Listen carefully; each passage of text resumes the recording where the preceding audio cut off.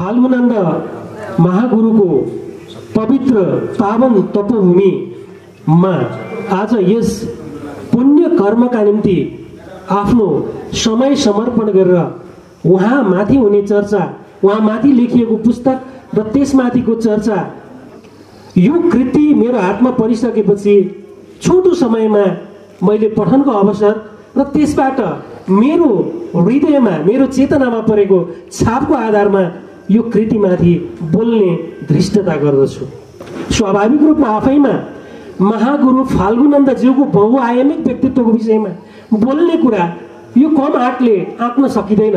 मलाई त्यस्तो लाग्छ। स्वाभाविक हिसाबले भन्दा यो कृतिमाथि बोल्ने कुरा यसको प्रा प्राविधिक पक्षमा धेरै बोल्नु छैन मैले।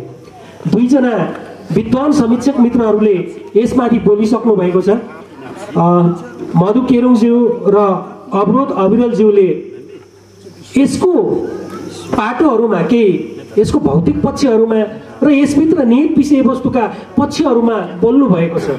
म अलिकति बढी यसको दार्शनिक पक्षमा फोकस गर्ने धृष्टता गर्छु यो भित्र। एउटा जीवनी लेखनको इतिहासमा परम्परागत लेखन शैलीभित्र जुन जीवनीमा समाविष्ट गरिनुपर्ने तत्त्वहरू हो। तिनै विषयवस्तुहरूलाई समावेश गरेर अघि अविरलजीले भने जस्तो यो बटम टु टपको अप्रोचमा महागुरु फाल्गुनन्दको जन्मदेखि उहाँको देहावसानसम्मका घटनाहरूलाई परिघटनाहरूलाई समावेश गरेर यो कृति आएको छ।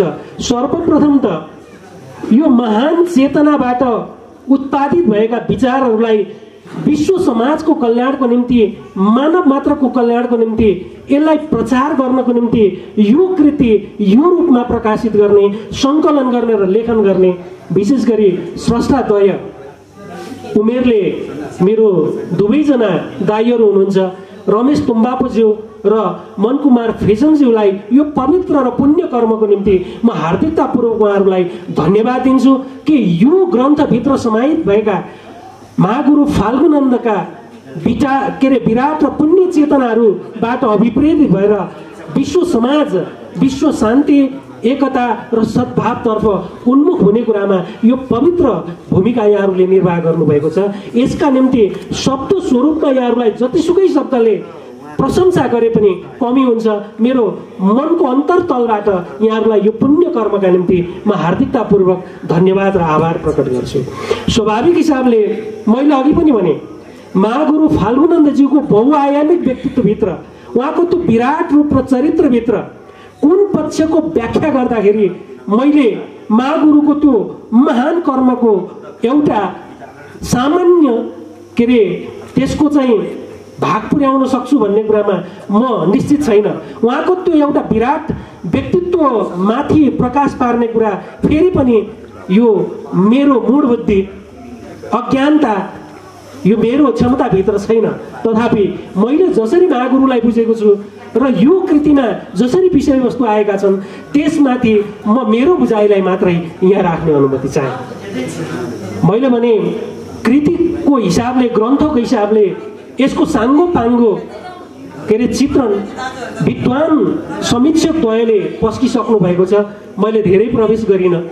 एक हिसाबले हेर्दा जीवनी लेखनको परम्पराभित्र रहेर महागुरु फाल्गुनन्दलाई चिनाउने कुराभन्दा अलिक बढी यो कृतिमा जे आउनु पर्थ्यो। मैले महागुरु फाल्गुनन्दको के अरे सन्दर्भमा एउटा अध्येता अथवा पाठकको हिसाबले एउटा महागुरु फाल्गुनन्दको पथ अथवा विचार त्यो दर्शनको अनुयायीको हिसाबले म जे चाहन्थेँ जे खोजिरहेको थिएँ त्यो खोज मेरो खोज मैले यो कृतिमा आउँदा भेटेको छु भन्ने मलाई लागेको छ। म यो विषयमा धेरै चर्चा हाम्रो मधुजीसँग हुने गर्थ्यो। महागुरु फाल्गुनन्दको विषयमा बोल्नुपर्ने लेख्नुपर्ने अन्तर्क्रिया गर्नुपर्ने समीक्षा गर्नुपर्ने विषयवस्तुहरू हुँदै गर्दा यसका सन्दर्भ कृतिहरू चाहिँ के हुन् त भनेर खोजी गर्दा साना साना कृतिहरू अघि अविरलजीले भने जस्तै धेरै कृतिहरू हामीले पढ्न पर्थ्यो। स्वाभाविक हिसाबले अहिलेसम्म आएको कृतिहरूमा मलाई लाग्छ फाल्गुनन्दको विषयमा आधिकारिक हिसाबले उहाँको जीवन र उहाँका कर्मसँग योगदानसँग जोडिएर लेखिएको एउटा बृहत्तर कृतिको रूपमा यो जीवनी कृति पाठक सामु आएको छ र यसका निम्ति मलाई लाग्छ यो चाहिँ लेखकहरूको कम तपस्या साधनाबाट यो आएको छैन। त्यस कारणले पनि उहाँहरूको भूमिका र योगदानलाई आज हामी यो फाल्गुनन्द गुरुको पवित्र पावन तपोभूमिमा उपस्थित भएर उहाँहरूको त्यो कार्यको निम्ति प्रशंसा लायक कार्यको निम्ति हामी सबैको तर्फबाट उहाँहरूलाई फेरि पनि सम्झन पर्छ धन्यवाद दिनुपर्छ मैले फाल्गुनन्द गुरु त्यो पद त्यो विचार त्यसको अनुयायीको हिसाबले एउटा सङ्कल्प चाहिँ गर्नुपर्छ उहाँका विचारलाई साँची राखेर मैले फाल्गुनन्द गुरुलाई सम्मानको दृष्टिकोणले अध्ययन गरिरहँदाखेरि हाम्रो जीवन दर्शन कसो बनाउने जीवन भोगाएको क्रम होइन? हाम्रो त्यो आदर्शबाट चलेको छ कि छैन भनेर पनि हेर्ने होला भन्ने लाग्छ। र महागुरु फाल्गुनन्दले त्यो बेला चाहिँ विशेष गरी किराँत समुदायलाई गर्नुभएको अनु अनुरोध। मैले देखेँ त्यही बेला किराँत समुदाय उहाँको भविष्यवाणीमा पनि समावेश भएको छ। पछि चाहिँ मासु मंस मदिरा ब्राह्मणहरूले पनि सेवन गर्न थाल्छन् है भन्नुभएको छ। र त्यो चिज अहिले के भएको छ हामी अनुयायीको हिसाबले किराँत दर्शन अथवा अन्य दर्शन त्यो मानवताको लागि हो नि त। प्राणी मात्रको हितको लागि हो नि विश्व कल्याणको लागि हो विश्व शान्तिको लागि हो त्यो चिजलाई चाहिँ आत्मसात गर्दै जाँदाखेरि मागुरुका भविष्यवाणीहरू फेल छैनन् मैले हेरेँ यही कृतिमा समावेश भएको सुन्दर पक्ष त्यो पनि हो मैले महागुरुका यी भविष्यवाणीहरू अध्ययन गर्न चाहेको महागुरुका उपदेशहरू शिवा खाउन् भन्छ क्यारे ती चिजहरूलाई चाहिँ नि मैले अध्ययन गर्न खोजेको हाम्रो रमेश के अरे दाइले नै लेख्नु भएको सानो कृति मैले पाएको थिएँ। त्यहाँदेखि पढ्ने धृष्टता गरेँ। अब यो मेरो चाहिँ सीमितता हो मेरो अज्ञानता हो मैले भन्छु। मैले चाहिँ किराँत लिपिमा लेखिएका ती विषयवस्तुहरूलाई कोट्याउने मेरो सामर्थ्य छैन।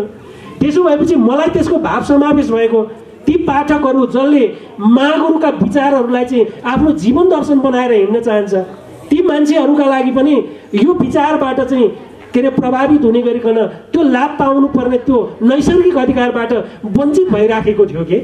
र रमेशजी र मनकुमारजीले चाहिँ यो विषयलाई चाहिँ अत्यन्त सहज बनाइदिनु भयो मैले त्यो चिज हेरेँ। उहाँहरूलाई सम्मान गर्छु म यो अर्थमा। महागुरुका ती सद्विचारहरू ती उपदेशहरू के अरे विश्व मानवको कल्याणको निम्ति आएका ती विचारहरूलाई सबैले पढ्न सक्ने गरिकन है यो चाहिँ के भन्छ किराँत मुन्दुमी भाषामा मात्र होइन नेपाली भाषामा पनि अनुवाद गरिदिनु भयो भाव राखिदिनु भयो। अनि अघि म के अरे मधुजीले भने जस्तै म त भन्छु कि महागुरुका ती विचारहरूले चाहिँ अहिले विश्वमा जुन खालको परिदृश्य देखिएको छ नि महागुरुको विचारलाई आत्मसात गर्न नसक्दा र त्यसलाई चाहिँ नि हामीले प्रचार गर्न नसक्दा देखिएका यी उत्पादहरू यिनले यिनले चाहिँ के अरे यो चाहिँ शान्ति स्थापनाका निम्ति यी विचारहरू के हुनुपर्छ भन्दाखेरि अब चाहिँ सेटल डाउन भएर जानुपर्छ। यी विचारहरू हामीले आत्मसात गर्ने जी यो जीवन पद्धति कृत्रिम जीवन पद्धति भन्छु म। त्यसबाट चाहिँ अब हामी प्रकृतितर्फ प्राकृतिक जीवन शैलीतर्फ फर्कन पर्छ स्वाभाविक हिसाबले महागुरुले आत्मसात गरेको जीवन दर्शन चाहिँ हाम्रो प्राकृतिक जीवन दर्शन हो मौलिक जीवन दर्शन हो आध्यात्मिक जीवन दर्शन हो। त्यो जीवन दर्शन र चेतनाभन्दा पर गएर कुनै पनि मान्छे सुख र शान्त त्यो अनुभूति गर्न सक्दैन। र म यो दर्शनको के अरे दृष्टिकोणले हेर्दै गर्दाखेरि मलाई लाग्यो कि यो पुस्तक पुस्तकको सन्दर्भमा अलिकति पुस्तकको विशेषताको हिसाबले चर्चा गर्दाखेरि यसमा चाहिँ नि यो जीवनीका आधारभूत पक्षहरू समेटेको पाएँ मैले। र त्यो पुस्तक लेखनको एउटा महत्त्वपूर्ण पक्ष भनेको त्यसले कति दम राख्छ? त्यो पाटोदेखि हेर्दाखेरि यो पुस्तक चाहिँ अत्यन्त बढी खोज अनुसन्धान अघि धेरै आयो। प्राथमिक तथ्याङ्कहरू सङ्कलन गरेर खोज अनुसन्धानमा आधारित भएर लेखिएको पुस्तक छ। कृत्रिमता छैन यहाँ। र यो पाटोदेखि गुरुको जीवन कालमा घटेका घटनाक्रम र गुरुको योगदानलाई चाहिँ विस्तारपूर्वक उल्लेख भएको छ। विषयलाई चाहिँ छुट्याएर फरक फरक ढङ्गले ठुलो रूपमा एउटा के अरे बृहत्तर के अरे भोलुममा यो पुस्तक आएको भए तापनि पाठकहरूले खोजेको सन्दर्भ चाहिँ टक्क टपिकमा राखिदिएर अध्येताले चाहिँ म यही मात्रै हेर्छु भन्न पायो भने पनि के अरे चाह्यो भने पनि त्यो ढङ्गले विषयवस्तुलाई चाहिँ अत्यन्त सहज ढङ्गले चाहिँ नि विषयवस्तुलाई छुट्याएर राखिदिनु भएको छ। अनि यसमा सबभन्दा महत्त्वपूर्ण पाटो फेरि त्यो पाटोदेखि हेर्दा एउटा अध्ययनको विषय हुन्छ। म चाहिँ विश्वास गर्छु है म एउटा आध्यात्मिक चेतनालाई विश्वास गर्ने अध्यात्ममा विश्वास गर्ने मान्छे भएको कारणले गुरु को जीवनमा घटेका जीवनकालमा घटेका गुरुद्वारा सम्पन्न भएका अलौकिक कार्यहरूको के अरे विवरण पनि समावेश गरिदिनु भएको छ। मलाई लागेको फेरि पनि मैले अध्ययनको क्रममा नभेटेको विषयवस्तु थप भेटेको विषयवस्तु यहाँ चाहिँ के रहेछ भन्दाखेरि गुरुको यो अलौकिक कर्मको कुरा गर्दा अघि आयो नि माङ्गिमहरू त धेरै बनाउनु भयो कहाँ कहाँ के के बनाउनु भयो त्यो सन्दर्भ मात्रै छैन। मैले सुनेको पढेको सन्दर्भमा मैले के पाएको थिएँ भने गुरुमा चाहिँ वर्षा रोक्ने पहिरो रोक्ने अनि सुक्खा ठाउँमा पनि पानीको मुहान मार्न सक्ने त्यो अलौकिक क्षमता थियो। उहाँ चाहिँ सिद्ध पुरुष हुनुहुन्थ्यो। त्यो ढङ्गले चाहिँ एउटा सम्मान गर्न लायक सिद्ध पुरुष त्यही अर्थमा चाहिँ ईश्वरको अंश गुरुमा थियो भनेर मानिएको। त्यसो हुँदै गर्दाखेरि मैले सुनेको पढेको सन्दर्भमा चाहिँ के मात्रै पाएको थिएँ भने यही चाहिँ लब्रेकुटे र माथि सिलौटी एरियामा चाहिँ पानीको मुहान के अरे सृजना गरेको उत्पन्न गरेको घटना सुनेको पढेको मात्रै थिएँ। धेरै ठाउँमा यो त भएको रहेछ नि त घटी त्यसो भएपछि कहाँ कहाँ गुरुले चाहिँ यो पानीको मुहान अलौकिक आफ्नो चाहिँ नि क्षमताद्वारा त्यो सिद्धताद्वारा चाहिँ है पानीको मुहान सृजना गर्नुभयो ती विषयवस्तुहरू पनि समावेश भएको छ। र मधुजीले अघि सानो सङ्केत गर्नुभयो त्यो पाटोदेखि हेर्दाखेरि मैले गुरुलाई त्यो आध्यात्मिक चेतना भएको त्यो सिद्ध हस्त त्यो पुरुष त्यो अलौकिक क्षमता ईश्वरीय क्षमता भएको त्यो रूपमा त मान्छु नै त्योभन्दा बढी उहाँ चाहिँ एउटा प्राकृतिक उपचारक। त्यो वैद्य हाम्रा चाहिँ मौलिक उपचार विधिहरू र हाम्रो वातावरणमा रहेका हाम्रो प्रकृतिमा रहेका जडीबुटीहरूको त्यो पहिचान गर्न सक्ने त्यो उपचारकको रूपमा पनि मैले देखेँ। यो पक्षबाट पनि रमेशजीहरूले अत्यन्त राम्रो ढङ्गले गुरुको त्यो क्षमतालाई चाहिँ बाहिर प्रकाशित गरिदिनु भएको छ। र उहाँ त अन्तर्यामी सिद्धिका पक्षहरू। कसरी चाहिँ सिद्ध पुरुष हो? कसरी अन्तर्यामी हुनुहुन्थ्यो भन्ने विषय सन्दर्भलाई पनि उठान गरिदिनु भयो उहाँ मैले देख्दाखेरि त्रिकालदर्शी हो। त्रिकालदर्शी। उहाँले भूत के थियो विगत के थियो भने देख्नुभयो। अहिले के हुँदैछ जान्नुभयो र भविष्यमा के हुनेछ त्यो कुराको भविष्यवाणी गर्नुभयो।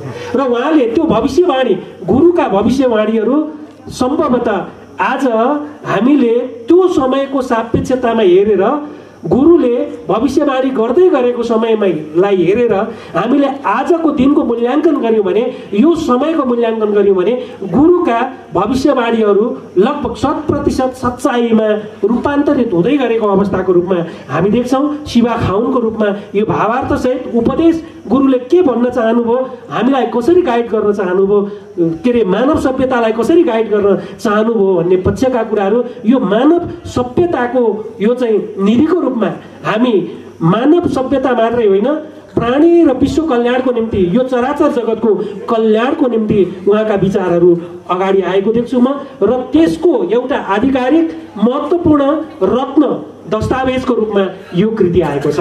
र एक पाटोदेखि हेर्दाखेरि जीवनी भनिएको भए तापनि यहाँ ऐतिहासिक दस्तावेजहरू छन्। एउटा अध्ययताको निम्ति यो गुरुकालीन विषयवस्तुहरू हामीले यो माङ्गिम निर्माणका कुराहरू भए होइन यहाँ भएको चुम्बुनका कुराहरू भए गुरुसँग जोडिएका जीवन दर्शन उहाँको जीवन भोगाइसँग उहाँले चाहिँ नि के अरे यो आध्यात्मिक मार्गमा प्रवेश गरेर समाजलाई त्यो दिशातर्फ रूपान्तरित गर्दै जाँदा शासक वर्गबाट भोगेका अवरोधहरू ती सबै चिजहरू र यो चाहिँ विशेष गरी लब्रेकोटी क्षेत्र सिलौटी क्षेत्र गुरुका पाइला जहाँ जहाँ परे त्यहाँ त्यहाँ गुरुका चाहिँ के भन्छ चेलाहरू होइन?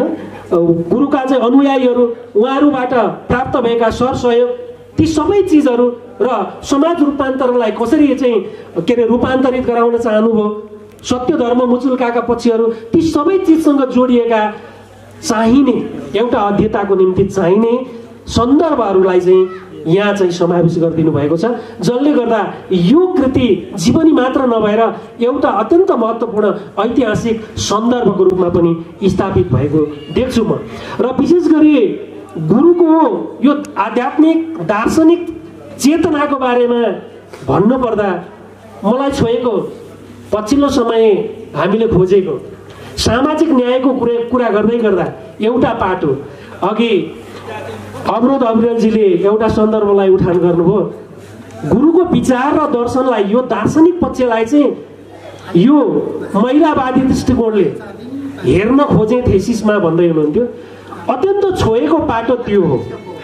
किराँत दर्शनभित्र मुन्दुमी दर्शनभित्र यो कुरा देखेँ मैले। त्यसको प्रति गुरुको विचारमा यो चाहिँ फाल्गुनन्द विचारमा त्यो दर्शनभित्र चाहिँ लैङ्गिक समानतालाई ज्यादै बढी वकालत गरिएको रहेछ। यो बाटोबाट अहिलेको के अरे हाम्रो समाजले लाभ लिनपर्छ। त्यही बेला हामीलाई चाहिँ अहिले भन्दै गर्दा यो ठुलो कुरा जस्तो लाग्दैन। तर समय त्यो समयको परिदृश्यमा त्यो पाटोदेखि गुरुले उठान गरेको यो लैङ्गिक समानताको कुरा र त्यो बेलाको समाजलाई हेर्ने हो भने गुरु साह्रै क्रान्तिकारी क्रान्तिकारी विचार दिनुभएको हो भन्ने मलाई लाग्छ। र त्यो ढङ्गले हेर्दै गर्दा नि लैङ्गिक समानताको कुरा गर्दा उहाँले के भन्नुभयो? पुरुष र महिला विशेष गरी मेरो कान्छो सन्तान भनेर सम्बोधन गर्नुभएको छ। किराँत समुदायभित्र। त्यसो हुँदा किराँत समुदायभित्रको चेलीहरूलाई समान अधिकारको कुरा छोरा छोरा समान अधिकारको कुराको वकालत गर्नुभएको छ। त्यो त्यो तत्कालीन समाजको लागि क्रान्तिकारी काम हो भन्ने भन्ने मलाई लाग्छ यो कदम हो। र त्यस त्यससँगै समाजमा भएका विकृत व्यवहारहरूलाई चाहिँ छोड्ने कुरा जे छ नि त्यो ढङ्गले हेर्दाखेरि दार्शनिक हिसाबले हेर्दा अघि मधुजीले भन्नुभयो त्यो मार्क्सिजम कहाँनिर छ होला भनेर लागेको मलाई। त्यहाँ प्रगतिशीलता मैले त्यहाँ देखेँ। उहाँले के भन्नुभयो धर्म दर्शन विचार हाम्रो सनातनी दृष्टिकोण हाम्रो पहिचान त्यसलाई हामीले चाहिँ जोगाउनु पर्छ मात्रै भन्नु भएन गुरुले। ती पक्षहरूमा भएका कमजोरीहरूलाई छोड्नुपर्छ पनि भन्नुभयो त्याग्नुपर्छ पनि भन्नुभयो त्यसो भएपछि उहाँ के हो त भन्दाखेरि त्यो समयको बिन्दुमा विश्लेषण गरेर हेर्दा उहाँ चाहिँ एउटा प्रगतिशील विचारक हो। उहाँले त्यही त्यही सन्दर्भमा भन्नुभएको छ हाम्रो यो समुदायभित्र रहेका यी खालका विकृतिहरू होइन? सत्य धर्म मुचुल्काका सातवटा बुदामा समावेश भएका छन्। हाम्रो खानपानको कुरा जीवन पद्धतिको कुरा यस के अरे जुन जुन चिजहरू चाहिँ हामीले समयको सन्दर्भमा रूपान्तरित गर्दा जीवनको पवित्रतालाई हामी कायम गर्न सक्छौँ त्यो जीवनको पवित्रताको मार्गमा जानुपर्छ ती चिजहरू त्याग्नुपर्छ भन्नुभएको छ। त्यसरी हेर्दाखेरि उहाँ चाहिँ प्रगतिशीलता लाई पनि सँगसँगै लिएर समाज रूपान्तरण गर्ने एउटा आध्यात्मिक चेतना भएको त्यो मानको अंश भएको ईश्वरीय अंश भएको उहाँ चाहिँ एउटा महान आत्मा हो। त्यस ढङ्गले चाहिँ उहाँ सबै धर्म समुदाय सम्प्रदाय सबैले समान ढङ्गले चाहिँ उहाँका विचारहरूलाई पूजा गर्न लायक छन् सम्मान गर्न लायक छन् र आत्मसात गर्न लायक छन् भन्ने लाग्छ मलाई। त्यो ढङ्गले हेर्दै गर्दा मेरो जीवनलाई रूपान्तरित गर्ने या प्रभावित प्रभावित गर्ने केही व्यक्तिहरू म सम्प्रदायको हिसाबले हिन्दू धर्ममा विश्वास गर्छु। तथापि म विचार र जीवन पद्धतिको हिसाबले म एउटा बुद्धिस्ट हो। यसो भन्दै गर्दा मलाई गर्व लाग्छ। म बुद्ध धर्मका विचारहरूबाट ज्यादै धेरै प्रभावित छु। र त्योभन्दा मैले जहिले फाल्गुनन्दलाई चिने त्योदेखि म फाल्गुनन्द पदको एउटा सच्चा अनुयायी हो भन्छु म। मैले अघि पनि भने म व्यवहारिक व्यवहार रूपमै फाल्गुनन्दलाई फाल्गुनन्दका विचारलाई आत्मसात गर्नुपर्छ र काहीँ पनि त्यो विचारलाई आत्मसात गर्दा कन्जुस्याइ गर्ने अलिकति अप्ठ्यारो लाग्ने ठाउँ मैले देखिनँ। कि म यो चाहिँ नि मुन्दुमी भाषा बुझ्नको लागि लिम्बू भाषालाई राम्रोसँगले बुझ्न सकिनँ। बुझ्नु पर्थ्यो मैले प्रयास गर्दैछु। र म एउटा विचार त्यहाँ भेटेँ मैले जस्तो एउटा सानो विचारलाई म उठान गर्छु र त्यो मा कति महान विचार थियो भन्छु। फाल्गुन नन्दल के भन्नुभएको रहेछ? भन्दाखेरि यो माग्नेबारे माग आबौँ हाङ्नेबारे हाङ आबौँ योग्नेबारे योग योग आबौँ भन्नुभएको रहेछ। यो विचार हामी देउता जस्तो भावनाले देव भावनाले देवता नै भइन्छ। राज भावना लियो भने राजा भइन्छ। अनि हामीले चाहिँ भावना निच राख्यौँ दास भावना राख्यौँ भने दासी बनिन्छ। त्यति भन्नुभएको रहेछ। हामी कहाँ पुग्छौँ? अन्तत गत्वा मान्छेको जीवन कहाँ पुग्छ? भन्दा मान्छे कहाँ पुग्न चाहन्छ त्यहीँ पुग्छ भने। त्यसो भएपछि हामीले कस्तो चिन्तन गरौँ भन्दाखेरि हामीले चाहिँ माग्ने मारे माग आबौँ भनेको रहेछ। राज के अरे देवता जस्तो भावना राखौँ है भनेको रहेछ। र यही सन्दर्भमा दार्शनिक पक्षले छोएको मलाई अर्को कुरा के हो भने आफ्ना चेला बुलाहरूलाई सम्बोधन गरेर गुरुले के भन्नुभएको रहेछ भन्दाखेरि तिमीहरू राजनीतिमा त्यति धेरै चासो नगर्नु है। राजनीति त्यति धेरै प्रिय छैन। र अहिलेको सन्दर्भमा राजनीति जुन रूपमा के अरे प्रकाशित भएको छ नि जुन रूपमा राजनीतिप्रतिको एउटा पर्सपेक्टिभ जुन पर्सपेक्टिभले हेरिन्छ जुन दृष्टिकोणले हेरिन्छ त्यो बेला बुझ्नु भएको रहेछ। र उहाँले के भन्नुभएको रहेछ भने ध्यान चाहिँ देव नीतिमा जाओस्। त्यसो भएपछि हामीले चाहिँ त्यो सत्कर्म त्यो देवत्व त्यो के अरे सात्विक चिन्तन त्यो दृष्टिकोणले चाहिँ जीवन चराचर जगत विश्व ब्रह्माण्डलाई हेर्ने दृष्टिकोण चाहिँ गुरुले दिनुभएको रहेछ। यो अत्यन्त राम्रो पक्ष मैले यो चिजबाट हेरेँ। अनि दार्शनिक हिसाबले हेर्दै गर्दाखेरि मैले अघि भनेको के अरे मौलिक संस्कार र व्यवहारमा जोड दिएर र उहाँले केही सन्दर्भमा भन्नुभएको छ चेला बुलाहरू कान्सु सन्तान भनेर सम्बोधन गरेर आफ्नो कुरा मौलिक कुरा नचोड्नु है भन्नुभएको छ। हाम्रा मौलिक परम्परा संस्कृति हामीले आत्मसात गरेको हाम्रो आफ्नै प्राकृतिक त्यो जीवन पद्धति जे छ त्यसलाई आत्मसात गर्नुपर्छ भनिएको यो आत्मसात गर्दै गर्दा हाम्रो मौलिकता पनि उजागर हुन्छ हाम्रो पहिचान पनि स्थापित हुन्छ। यी सबै विषय सन्दर्भहरू यहाँ छन्। र एउटा सन्दर्भ गुरुमा त्यो अलौकिक अलौकिक विज्ञानको हिसाबले त्यसलाई पुष्टि गर्छ गर्दैन फरक कुरा हो। त म तर म मैले अघि पनि भने एउटा आध्यात्मिक चेतना भएको प्राणी भएको नाताले म त्यसलाई ब्लाइन्डली विश्वास गर्छु। गुरुको यो फक्ताङलुङको यात्राको सन्दर्भमा के अरे पोखरीले आक्रमण गरेका सन्दर्भहरू पानी सृजना गरेका सन्दर्भहरू पहिरो रोकेका चोकमागुको पहिरो रोकेका सन्दर्भहरू यी सन्दर्भहरू अलिकति यी चाहिँ चमत्कारिक लाग्छन्।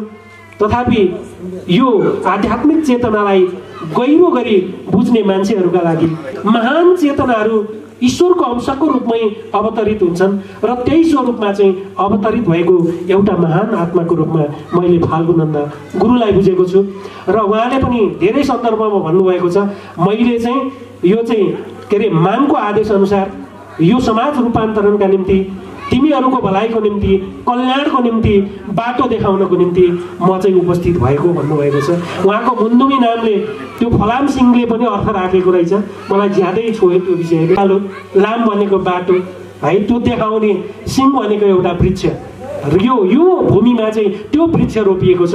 त्यो वृक्षले हामीलाई चाहिँ एउटा प्रकाशित एउटा एकदम अँध्यारोबाट अज्ञानताबाट ज्ञानतर्फ अँध्यारोबाट उज्यालोतर्फ हाम्रा के अरे जीवन पद्धति संस्कारहरू है त्यो चाहिँ अत्यन्त विकृत छन् भने त्यसबाट चाहिँ सुसंस्कृत सभ्य सभ्यतातर्फ निर्देशित गर्नका लागि माङको अंशको रूपमा यस धरतीमा अवतरित हुनुभएको महागुरु र उहाँको दर्शनको सन्दर्भलाई समावेश गरेर अब म अन्त्यमा म दुईजना कृतिकारहरूका निम्ति फेरि पनि यो अत्यन्त दिव्य र पावन पवित्र विचारलाई सङ्ग्रह गरेर यो कृतिलाई प्रकाशित गर्नुभएको छ।